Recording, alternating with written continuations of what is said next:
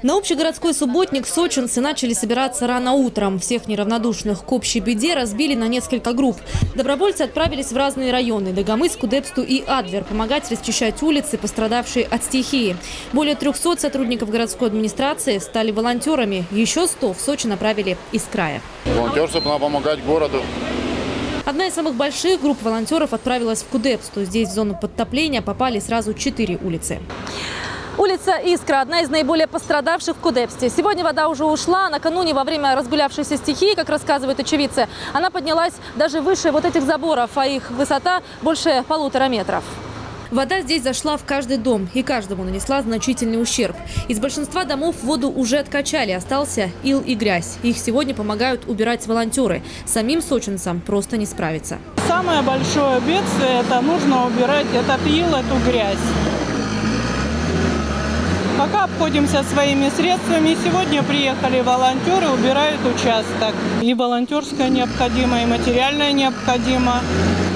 И просто помощь человеческая необходима. Волонтеры убирают сломанные деревья и ветки, заборы и прочий мусор. Помогают сочинцам разбирать завалы и выносить из домов крупногабаритные вещи, которые уже не спасти. Их тут же забирают и вывозят. К работе привлекли всю тяжелую технику, которая была в районе. Работы, как вы видите, масштабные. Мы привлекли э, всю имеющуюся крупную технику. Это трактора, это э, бульдозеры, это КАМАЗы. И сейчас идет активная работа по расчистке улиц и домов. Только в Хосте затопило 68 домов. Всего же по Сочи таких 736. Газ, свет и вода уже есть у всех жителей. Работу по восстановлению коммуникации вели всю ночь и весь день. Каждому из пострадавших жителей, обещают в администрации, будет оказана адресная помощь. Один на один с бедой сочинцы не останутся.